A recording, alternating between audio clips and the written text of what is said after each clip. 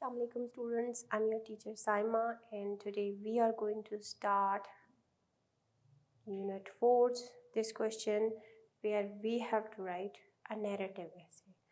Students सबसे पहले हमें ये पता होना चाहिए नैरेटिव ऐसे क्या है नैरेटिव ऐसे तक पहुँचने से पहले सॉरी राइटिंग इन ऐसे की टेक्निक्स थोड़ी सी देख लेते हैं स्टूडेंट्स आप लोग प्रीवियस यूनिट्स में भी राइटिंग सीखते आ रहे हैं। तो यहाँ पे मैं आपको ये बात बता दूँ कि writing is not a skill it's an art skill तो आपको पता है कि इट्स समथिंग वेरी स्पेसिफिक लेकिन यहाँ पे ये आर्ट है, इसमें इतना मार्जिन है कि हर कोई अपने अंडरस्टैंडिंग के हिसाब से इसमें चेंजेस ला सकता है। ये क्रिएटिव काम है, इस वजह से इसको जो है वो आर्ट का नाम दिया है। जैसे कि पेंटर्स उनका टूल क्या है? ब्रश है। म्यूजिशंस का टूल क्या है? उनको नोट्स की ज़रूरत होती है। Writers needs words carefully selected words are the tools that a writer uses to turn his average writing into beautiful works of art students, जिस तरह के आप लोग स्टोरी सुनने में आपको पता है, हर बंदे का अपना एक स्टाइल होता है स्टोरी सुनाने का। इसी तरह उसी स्टोरी को अगर हर बंदा अपने हिसाब से लिखता है तो वो डिफरेंट होगा। ठीक है? कोई भी इंसिडेंट जब आप वॉच करते हैं कोई भी इंसिडेंट हर बंदे का अपना स्टाइल होता है उसको बयान करने का। इसी तरह राइटिंग में भी यही होता है कि राइटर अपने टूल्स यूज़ करता है। उसके टूल्स क्या हैं? वर्ड्स हैं, जो कि उसने केयरफुली सेलेक्ट किए हुए हैं। वो वर्ड्स वो लेता है और फिर जो है वो beautiful work of art create करता है। ठीक है? जैसे कि आपने लास्ट पोइम पढ़ी। अब इसी पोइम को जब अलामा इकबाल ने ट्रांसलेट किया ट्रांसलेट नहीं किया, उन्होंने री राइट किया। फिर वो उसमें भी आपको एक उनका अपना स्टाइल नज़र आएगा। ठीक है? तो हर बंदे का अपना एक स्टाइल होता है और राइटर जो है वो वर्ड्स को एज अ टूल यूज़ करते हैं, कहने का मतलब यही है। ठीक है? So let's go ahead types of essays ठीक है? राइटर तो हो गया, ठीक है, वो अपने टूल्स यूज़ कर रहा है, लेकिन हम उससे पहले टाइप्स ऑफ़ एसेस की तरफ़ जाते हैं। Three main types of essays हैं, जिनमें एक है नैरेटिव दूसरा है एक्सपोजिटरी और थर्ड है persuasive so today on this lecture, we will be focusing on first one, and that is narrative essay. Narrative essays का मतलब क्या होता है स्टूडेंट्स टेलिंग अ स्टोरी ठीक है? Narrative essays a narrative essay is a story narrative essay क्या है? ये एक स्टोरी है ठीक है? पूरा ऐसे एक स्टोरी है। द प्रॉम्प्ट और राइटिंग टॉपिक जिसको प्रॉम्प्ट कहते हैं जो टॉपिक है जो आपका um, आपको दे दी जाती है दे गिव और एग्ज़ामिनर्स जो आपको देते हैं दे गिव यहाँ पे फॉर एग्ज़ामिनर्स है ठीक है? जो लिखा हुआ है give you will most likely have this key word in it उसमें ज़्यादातर जो है वो एक कीवर्ड का इस्तेमाल होता है टेल या एक्सप्लेन या आपकी अपनी फीलिंग्स है ना? तो इस तरह से ये एक कीवर्ड इसमें मिलेगा जिससे आपको पता चलेगा ये एक नैरेटिव ऐसे है। For example tell about a time you went on a special trip इस तरह के। This is a narrative because of the world tell अब आपने जो आपका एक्सपीरियंसेस हैं स्पेशल ट्रिप के, उसको एज अ स्टोरी में बयान करना है, ठीक है? Sorry narrative essays a narrative essay is a story ये हमने देखा। अब एग्ज़ाम्पल स्टूडेंट्स इसकी देखें कि for example tell about a time you went on a special trip this is narrative because it tells the story the writing process writing process इसका क्या होता है? ये स्टेप बाय स्टेप मैं आपको समझाऊँगी। Before we write we need to think about the steps involve in writing writing से पहले ये चार स्टेप्स आप समझ लें कि ये क्या होते हैं। पहला है प्री राइट लिखने से पहले। ठीक है? जिस तरह से प्री रीडिंग स्ट्रैटेजीज होती हैं, इस तरह प्री राइट स्ट्रैटेजी है। ये क्या है? नैरेटिव की प्री राइट क्या है? Have you ever seen a cartoon movie क्या आपने कोई कार्टून मूवी देखी है? कार्टून मूवीज़ बहुत से आपने देखी होंगे, ठीक है? वो क्या करते हैं? They use a storyboard to sketch their ideas storyboard बनाते हैं, उसमें अपने आइडियाज़ को स्केच करते हैं, उसको ड्रॉ करते हैं। Before they do the whole movie. पूरी मूवी को बनाने से पहले स्टोरी बोर्ड बनता है। स्टोरी बोर्ड पे वो पूरे जो है वो कार्टून की ड्राइंग होती है, ठीक है? Before they do the whole movie and include each detail, फिर उसमें ईच एंड एवरी डिटेल होती है। कभी आप लोग जाएँ इंटरनेट पे, सर्च करें, फिर आपको पता चलेगा कि कोई कार्टून मूवी किस तरह से बनाते हैं। बाकी जो मूवीज़ होती हैं, उनमें तो ह्यूमन कैरेक्टर्स होते हैं जो रियल लाइफ से होते हैं, लेकिन जो कार्टून मूवीज़ होती हैं, उनको बाकायदा ड्रॉ किया जाता है स्टोरी बोर्ड पे। This helps them get their ideas flowing and keep them on track फिर क्या होता है, उनके आइडियाज़ जो है, वो फ्लोइंग में रहते हैं। सपोज़ ये करेक्टर यहाँ से वहाँ तक जा रहा है पीछे सीनरीज भी अगर चेंज हो रहे हैं तो वो हर चीज़ को वो ड्रॉ करते चले जाते हैं। For a narrative essay when you see the words tell on a prompt sketch a storyboard अगर स्टोरी बोर्ड आप ड्रॉ नहीं कर सकते, आप माइंड में बना सकते हैं, ठीक है? आप या तो फिर वो बोर्ड बना के उस पर वर्ड्स लिखें, पहले ये, फिर ये फिर ये। अब मैं यही सजेस्ट करूँगी draw five to six boxes. You can do more but I would suggest at least five आपने फाइव तो बना लेने ठीक है in each box you will write what happen in the stanza. आप जो कि आपकी एक्टिविटी आपके इससे रिलेटेड है, आपकी पोइम से रिलेटेड है तो इस वजह से फाइव आपने, क्योंकि उसके फाइव स्टेंजाज हैं, इसलिए या फिर बेशक आप सिक्स स्टेंजा को अलग से भी लिख सकते हैं। उसमें मॉरल को डिस्कस करके, लेकिन फाइव स्टेंजाज आप बना लेंगे, ठीक है? हर बॉक्स में फिर आप क्या करेंगे? उस स्टेंजा में क्या हुआ था? रिमेंबर हमने पढ़ा, फिर हमने उसकी क्लिप भी देखी। उसी तरह से आप एक स्टेंजा में वही लिखेंगे। In order in each box you will write what happen in the stanza in order in your story order wise पहले ये हुआ, फिर ये हुआ, फिर ये हुआ सीक्वेंस होनी चाहिए। Each box will then be use to help you describe a paragraph on your essay फिर आप उस स्टोरी को लेके एक पैराग्राफ फिर दूसरा पैराग्राफ इसी तरह आपके पास फाइव पैराग्राफ्स आराम से बन जाएँगे। यहाँ पे मैंने एक एग्जांपल आपके लिए लिखी है, ये तो पिक्चर्स की है, आप वर्ड्स यूज़ कर सकते हैं, ठीक है?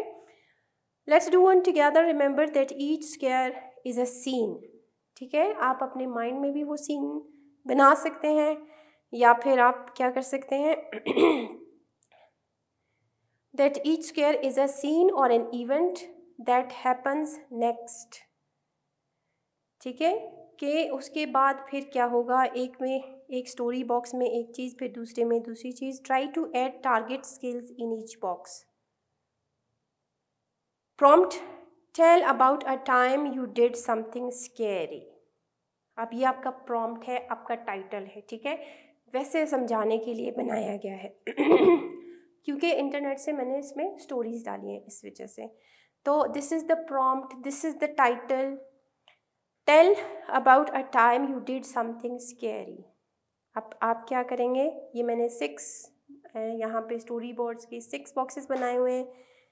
पहले में उसका सेटिंग और करेक्टर कहाँ पे वाक़ हो रहा है और करेक्टर कौन है? See suppose it is midnight तो एक सेटिंग मैंने बना दी, ठीक है, और करेक्टर भी है।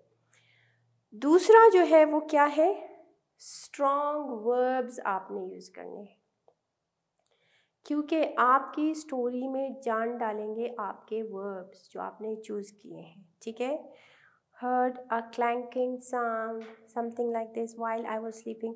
Now this one setting और character को आप एक पैराग्राफ में, फिर उसके बाद दूसरा सेकंड स्टैम्प पे कि हुआ क्या था, किस वजह से फिर नेक्स्ट क्या हुआ, फिर उसके बाद देखें कि क्या है, आप सिमिली यूज़ कर सकते हैं। आप उसको कंपेयर कर सकते हैं। पहले आपने सेटिंग और करेक्टर की बात की, फिर स्ट्रॉन्ग वर्ब्स आपने लिखे, ठीक है? फिर उसके बाद जो है वो उस सिचुएशन को लेके सिमिलीज यूज़ की। I crept as quietly as nervous mouse suppose heard an clanking sound और समथिंग फिर उसके बाद जो है वो उठ के जाना कि क्या हुआ है। फिर कॉन्फ्लिक्ट कॉन्फ्लिक्ट क्या है? कि ओनोमेटापोया आपने पढ़ा, आप देखेंगे कि ये वो साउंड्स होते हैं। साउंड्स को जब हम वर्ड्स में लिखते हैं तो उसको ओनोमेटापोया कहते हैं। रेटल रेटल रेटल डस्टबिन से आवाज़ आ रही थी। ठीक है?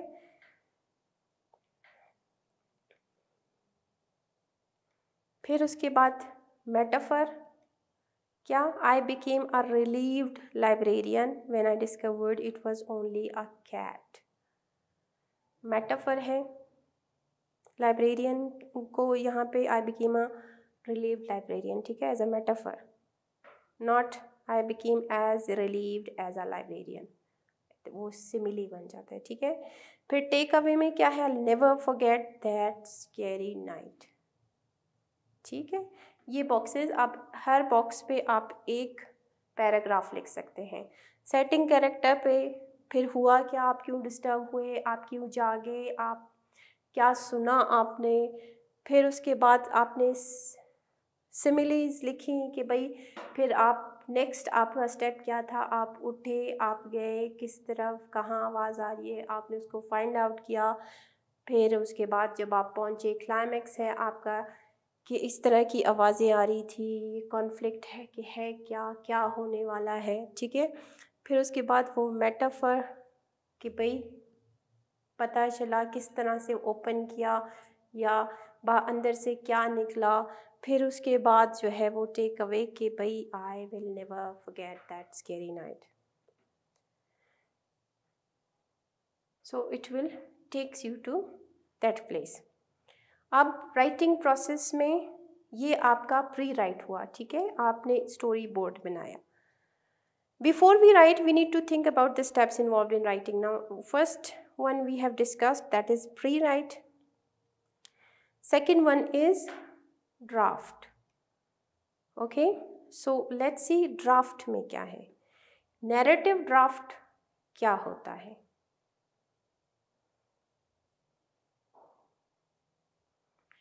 Okay.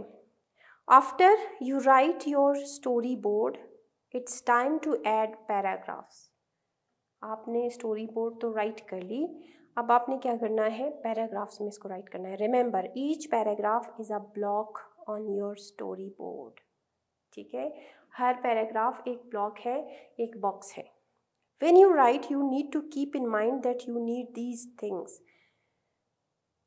अब एक और चीज़ कि आपने जहन में क्या रखना है। यू आर ऑन टॉपिक आप कहीं अपने टॉपिक से कहीं इधर उधर तो नहीं जा रहे, आप कुछ और तो बीच में ऐड नहीं कर रहे। आप किसी ऐसी डिटेल में तो नहीं जा रहे जिसकी कोई ज़रूरत ही नहीं है और वो पढ़ने वाला बोर हो के आपकी राइटिंग को ना पढ़े। ठीक है? It has a beginning middle and end जैसे कि स्टोरी में होता है। बिगनिंग फिर मिडल में आपने क्या डालना है? फिर एंड में क्या डालना है? ठीक है? यू रोट कंटेंट आपने फिर उसके बाद ये जब हो गया, ये बिगनिंग है, ये मिडल है, ये एंड है, आपने कंटेंट लिखा। यू इंक्लूडेड क्रिएटिविटी स्किल्स एक प्लॉट तो आपने लिख लिया कि ये हुआ ये हुआ, लेकिन फिर आपने अपनी स्किल्स उसमें ऐड की। क्रिएटिविटी स्किल्स आपका लिखने का स्टाइल आपके वर्ड्स का चूज़ करने का स्टाइल ठीक है? एक एग्ज़ाम्पल रूबरिक भी मैं लेके आई हूँ, ये इसको ज़रा देख लें।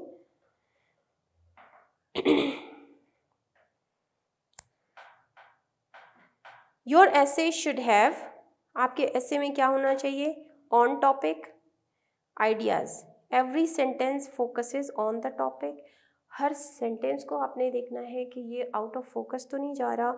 You have written a unique interesting essay about the topic बहुत ही यूनिक किस्म का जो है वो इंटरेस्टिंग टॉपिक आपने लिखा है। ये आपके आइडियाज़ में आ जाता है टॉपिक में, ठीक है? सेकंड है कन्वेंशंस ऑन द टॉपिक ठीक है? पहले आपकी आइडियाज़ ऑन द टॉपिक थे, अब कन्वेंशंस है। प्रॉपर पंक्चुएशन बहुत इंपॉर्टेंट है स्टूडेंट्स आपने प्रॉपरली उसको पंक्चुएट करना है। कहाँ पे कॉमा आएगा, कहाँ फुल स्टॉप आएगा, कहाँ इन्वर्टेड कॉमाज आपने डालने हैं। ये चीज़ें बहुत इंपॉर्टेंट होती हैं कैपिटलाइज कहाँ करना है। Correct spelling of fourth grade words आपने जो है वो करेक्ट स्पेलिंग्स यूज़ करने हैं स्पेशली ट्रिकी वर्ड्स जो होते हैं, ठीक है? So this is for the fourth grade लेकिन आपने अपने ग्रेड के हिसाब से, ठीक है?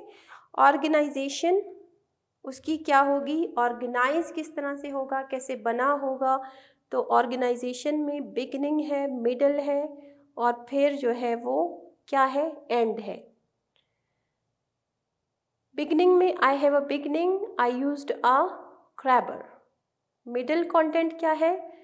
ये ग्रैब करने के लिए आपने कुछ रखा है कि किस तरह से मैंने आवाज़ें सुनी और ये था। और फिर यहाँ पे भी आपने ग्रैबर जो कि ग्रैब करे अटेंशन को, फिर आंसर्ड हु वर्ट व्हेन इस तरह की जो है, आपने आंसर करने हैं। Added information to amplify my thoughts इस तरह की इन्फॉर्मेशन जो कि आपके थॉट्स को एम्पलीफाई करे और जो उसको पढ़ रहा है उसको भी इम्प्रेस करे। ट्रांजिशंस आपने यूज़ किए हो। If a narrative it has a conflict conflict ज़रूर होना चाहिए।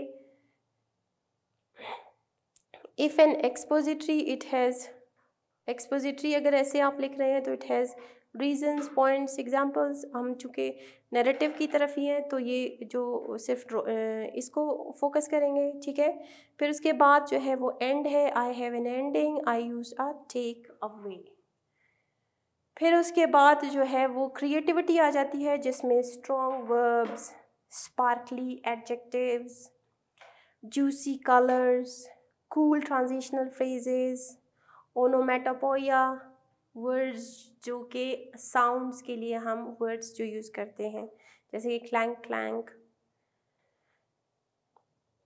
alliteration one sentence with dialogue creative tags जैसे कि डायलॉग्स में हम इन्वर्टेड कॉमास कोई एक सेंटेंस किसी ने हमसे पूछा, आप कहाँ जा रहे हैं, क्या हुआ था?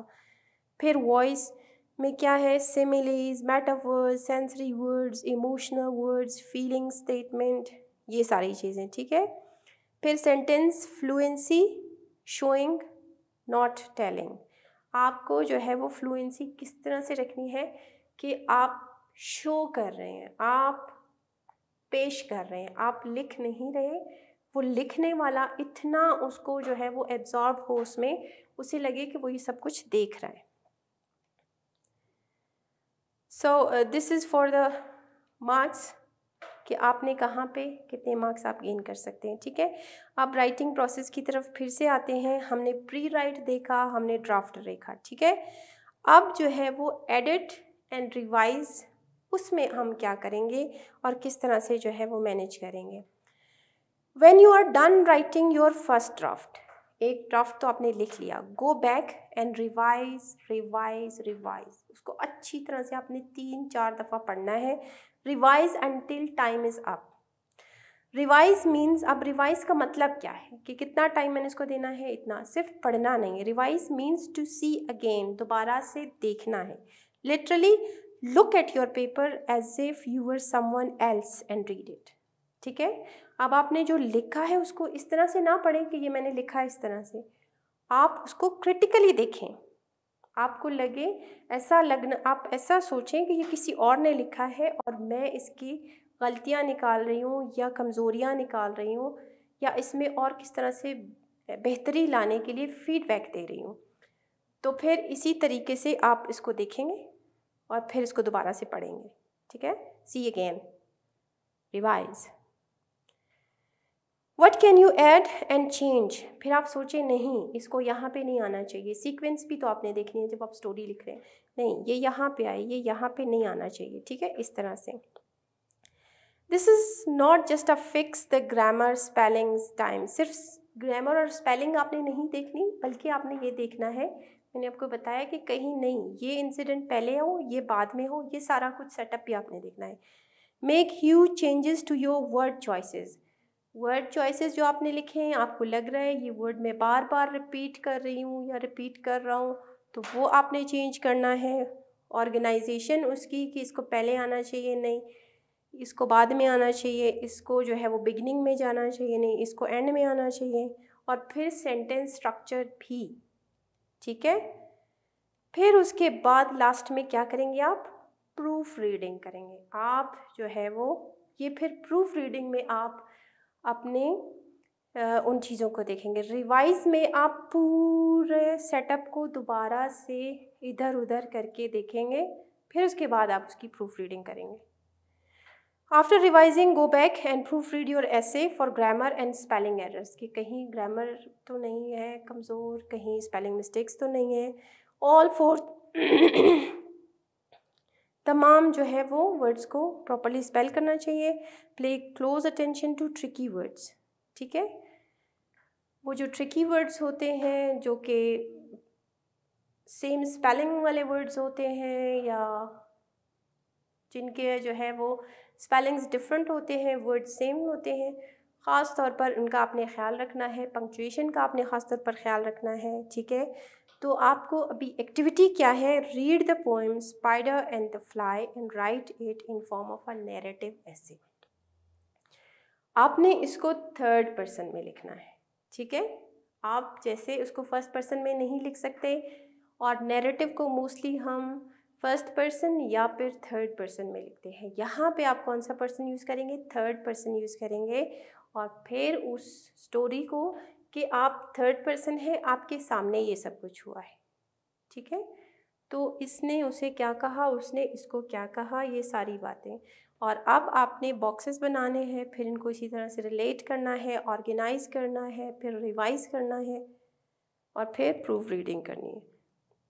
और दोबारा से मैं यही लिख रही हूँ ताकि आपको याद रहे कि हमने नैरेटिव ऐसे लिखने के लिए जो है वो क्या किया कि हमने पहले लिखने से पहले we think about these steps the spider and the fly सबसे पहले क्या करेंगे? प्री राइट कि आपने किस तरह से स्टोरी को कंपोज करना है। फिर आप एक ड्राफ्ट बनाएँगे। फिर उसको एडिट या रिवाइज करेंगे। फिर उसके बाद उसकी प्रूफ रीडिंग करेंगे और बाद में जाके आप उस ऐसे को, वो फाइनल आपके पास रेडी है और आप जो है वो किसी एग्ज़ाम में या अपनी नोटबुक में इसको लिख सकते हैं। दैट्स इट स्टूडेंट्स ये तरीका है नैरेटिव ऐसे का। कोई भी नैरेटिव ऐसे जब आपने लिखना हो तो इसी तरीके से इन्हीं स्टेप को फॉलो करते हुए आप लिखेंगे। That's it for today students thank you so much and अल्लाह हाफिज़